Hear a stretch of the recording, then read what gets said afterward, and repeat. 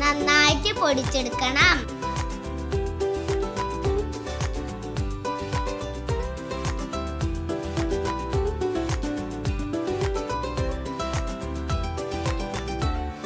ഇപ്പൊ ഇത് നന്നായി പൊടിഞ്ഞു കിട്ടിയിട്ടുണ്ട്. ഇനി ഇതിലേക്ക് ഒരു ടീസ്പൂൺ ബേക്കിംഗ് പൗഡർ ആഡ് ചെയ്യണം. ഇനി ഇത് നന്നായി മിക്സ് ചെയ്യണം.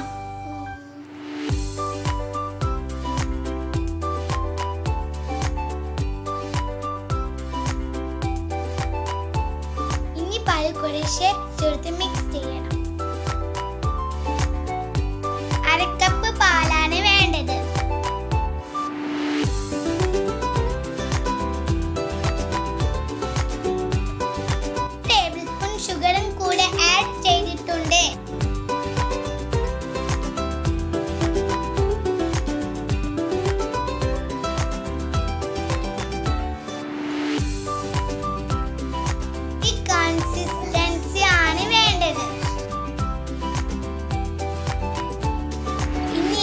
ഒരു പാനിലേക്ക് ഒഴിച്ചു കൊടുക്കുക.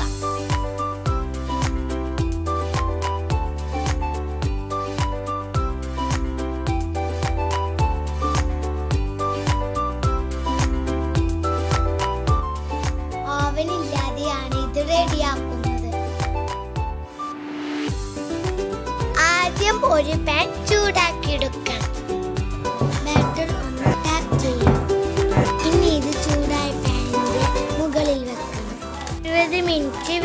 വേവിച്ചെടുക്കണം കേക്ക് റെഡി ആയിട്ടുണ്ടോ? നോക്കാം.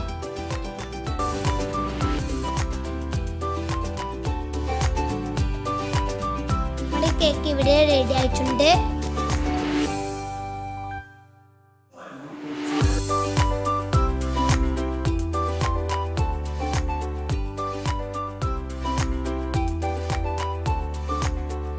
നല്ല സോഫ്റ്റ് കേക്കാണ്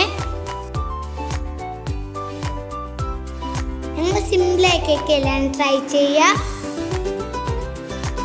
സബ്സ്ക്രൈബ് ചെയ്യാൻ മറക്കല്ലേ?